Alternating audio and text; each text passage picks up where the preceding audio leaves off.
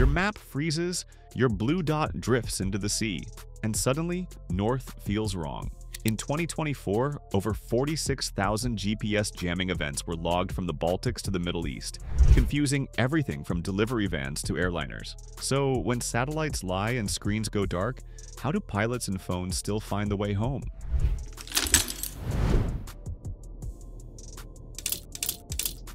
When your map starts lying at how GPS jamming and spoofing first show up on our screens. It begins small. Your map drifts off the highway, the blue dot slides sideways, and for a second you think your phone just lagged. But then traffic alerts vanish, compass bearings twist, and every app that depends on location loses its grip. That's GPS jamming and spoofing, the invisible interference that confuses satellites, phones, and even aircraft. The first case traced at scale appeared in the early 2000s when U.S. Navy ships near San Diego noticed their navigation systems disagreeing with shore-based GPS. Engineers found that rogue signals had overpowered the genuine satellite frequencies, the digital version of shouting louder on the same channel. Today, the threat has gone global. In 2023, the European Union Aviation Safety Agency, EASA, confirmed over 46,000 jamming and spoofing events affecting civil aircraft in one year, most across Eastern Europe, the Middle East, and the Baltic Sea. Pilots called it the ghost zone.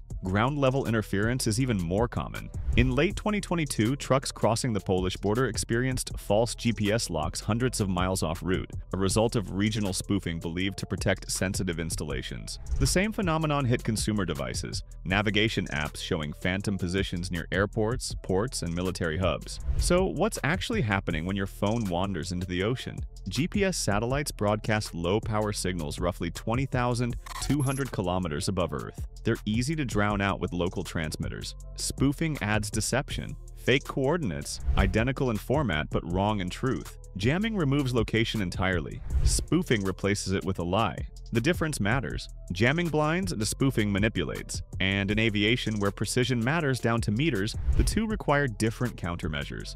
The strange part? Commercial jets have lived with this risk for decades and rarely lose their way, because behind every blinking cockpit display lies a quiet redundancy, one built to survive even when space itself goes dark. Next, when satellites go silent, how do airliners still know exactly where they are?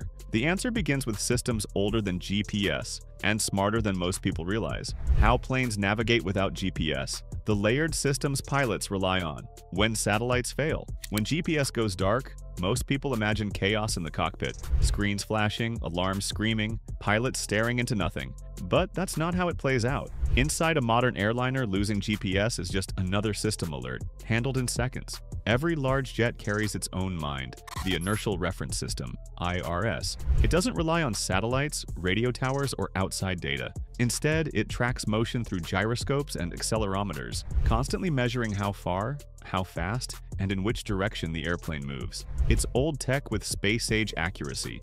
NASA used similar systems on Apollo missions in the 1960s, long before GPS even existed.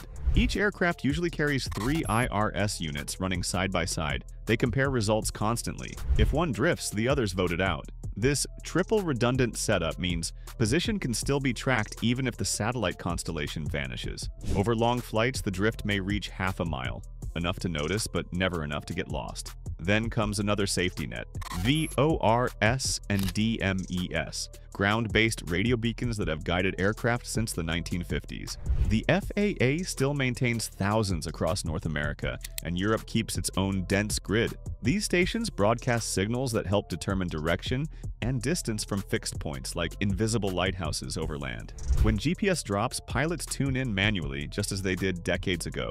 Next layer, RAIM or Receiver Autonomous Integrity Monitoring. Think of it as GPS's internal lie detector. Even when satellites appear normal, RAIM checks their timing and geometry. If the math feels off, the system throws a warning before the data can mislead. That safeguard saved countless flights from subtle spoofing attempts, particularly in contested zones where fake signals drift across borders. So when GPS fails, nothing really stops. The flight management computer simply switches from satellite position to inertial or radio updates. Passengers keep reading, engines hum, coffee pours. The navigation picture might lose some sharpness, but the jet still knows where home is. Still, there's one moment where all that training and redundancy meet real pressure. When the cockpit suddenly realizes the map and the machine disagree. How fast do pilots react when that happens? And what happens next might surprise you, especially after a real case in 2023 over Cyprus, where GPS vanished mid-flight. When the cockpit loses a satellite, real moves, real checklists, real calm. The warning comes quietly, a yellow light, a small tone. GPS primary lost. It sounds like a small issue, but every pilot feels the change in heartbeat. The jet is moving fast, high, and far from home. Losing position data in midair is serious, but it's far from disaster. In April 2023, several airliners flying over Cyprus and eastern Mediterranean reported sudden GPS failures. Their navigation screens froze or jumped off course by miles. One crew saw their route shift west, straight into restricted airspace. Air traffic controllers later confirmed dozens of aircraft experienced the same confusion that week. However, every flight landed safely. Why? Because the checklists already existed. Crews switched from GPS to IRS data, verified headings with ground beacons, and cross-checked altitude and drift using standby systems. Pilots train for this. The first rule is to trust the airplane, not the signal. Inside the cockpit, conversations stay short. GPS lost. Confirm IRS. Cross-check position, then calm voices re-anchor the flight path using other tools. The aircraft's flight management system automatically blends data from inertial sources and VOR beacons. The transition happens in seconds. Passengers never notice. Spoofing events are trickier. In 2022, a private business jet near the Black Sea suddenly showed its position over an airport hundreds of miles away. The crew almost began descent before realizing the error. Today, many operators use RAIM monitoring and inertial validation to flag such fake coordinates before they enter flight computers. Aviation learned fast that false accuracy can be more dangerous than a full loss. After landing, those incidents feed straight into global reports, shared with EASA, ICAO, and IATA. That data helps update airspace bulletins, sometimes leading to short-term reroutes or new safety advisories. Each event teaches the same lesson. Humans adapt faster than interference. The cockpit's greatest strength isn't the machine, like it's the calm under pressure that generations of training built. Still, that calm starts to look different when we leave the sky and touch the ground. Because on the road, there's no autopilot, no co-pilot, and your phone may believe you're 300 miles away. How do ordinary travelers handle it when GPS lies to their face? When the map lies on the road, how GPS chaos reached ground level. It starts small like any digital hiccup. You're driving through the countryside, the sun low, the map zoomed in tight. Suddenly the arrow drifts into a forest. Your route disappears and your phone insists you're two towns away. You laugh until you miss the exit. That's how most GPS jamming stories begin. In 2022, drivers in Finland started reporting strange detours. Navigation apps led them into empty fields or loops back toward the border.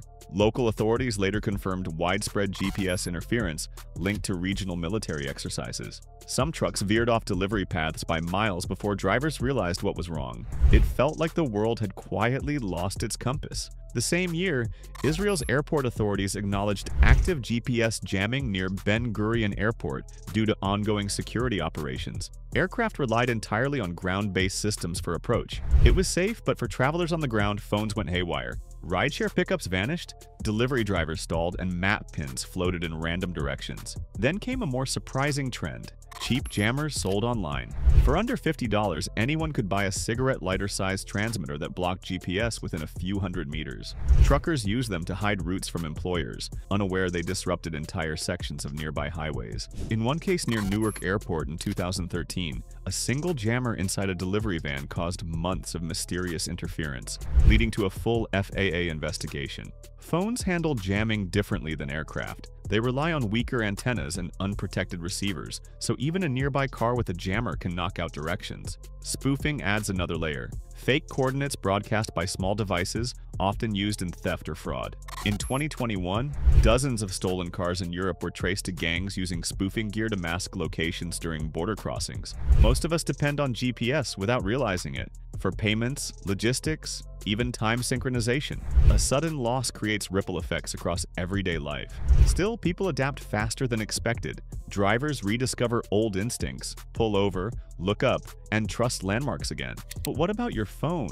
What can you do before this happens again? And what if a few simple offline tools could save hours when the grid goes blind? When phones lose their way, the real-life workarounds that still get you home. The fix starts before the failure. Every smart traveler now knows that GPS isn't guaranteed. You plan for silence the same way pilots do. Layers of backup, simple and clear. Start with offline maps. Google Maps, Apple Maps, and Maps.me all allow downloads by region. You can mark entire countries before takeoff. Once saved, your phone guides you without data or signal. It's a lifeline during network blackouts or when interference cuts live. Updates During the 2022 Baltic disruptions, thousands of truckers used offline areas to keep moving when satellite navigation froze for hours. Next, use two apps, not one. Different mapping systems depend on separate satellite constellations and data networks. Waze, for example, uses community updates, while HERE WeGo relies on more static road data. Switching between them can expose false positions quickly. If both disagree, trust what your eyes confirm. Road signs, compass bearings, or daylight direction. Carry a small compass. It sounds old school, but it's the simplest reality check against spoofed data. A $10 magnetic compass can tell you instantly if your phone's sense of north is being bent by a false signal.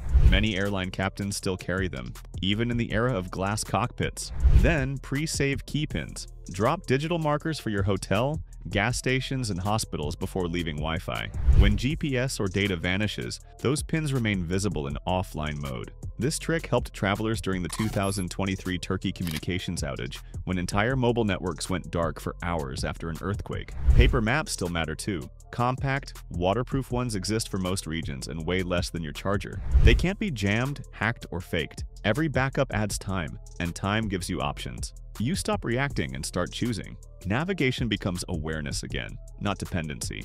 But there's one layer above all others, and the one that protects the entire aviation world from losing its digital horizon. It's the invisible grid that keeps airliners aligned across continents.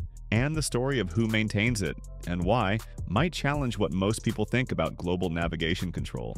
The invisible backbone, who actually keeps the world's navigation systems honest. Every flight, every phone, every ship at sea depends on a clock, one so precise that a millionth of a second matters. That clock lives in space, inside satellites circling 20,000 kilometers above Earth, maintained by nations that treat timing like a weapon and a promise. GPS began as a U.S. military project in 1973, designed to guide missiles long before it guided tourists.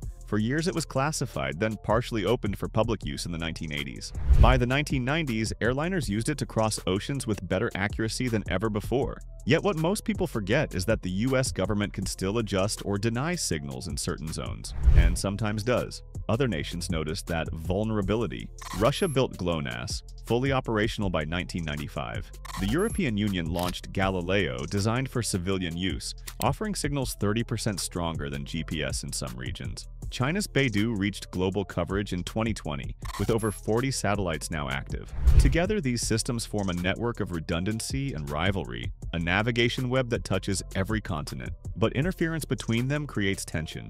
In 2022, U.S. officials accused certain regions of GPS jamming over the Black Sea and Baltic states, forcing nearby flights to switch to inertial backup. Airlines started quietly training crews to monitor all constellations at once, using multi-band receivers capable of picking the most stable signal from any provider. Meanwhile, governments invest in ground-based backups like eLoran, an updated version of a Cold War navigation system. It sends timing data through low-frequency radio waves that can't be jammed by small transmitters. In 2023, South Korea and the UK tested national-scale eLoran coverage after repeated GPS disruptions near their ports. All of this proves one thing. Global navigation isn't just about convenience, it's infrastructure, sovereignty, and silent competition. Every signal you trust has politics behind it, so next time your phone guides you home or your flight crosses an ocean, remember, you're riding on a global balance built on timing, trust, and old rivalries. But what happens when that balance is tested in real combat and GPS becomes the first target in a digital war? Somewhere between the sky and the signal, truth bends. Click the next video on your screen before it disappears. Another story is waiting to show how we keep moving when the map turns against us.